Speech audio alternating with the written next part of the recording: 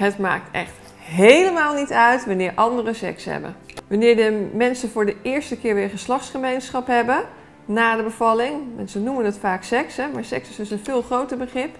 Daar zit zoveel variatie in. Ik vind het belangrijk dat jullie het hebben op het moment dat het voor beide plezierig is en dat het geen pijn doet.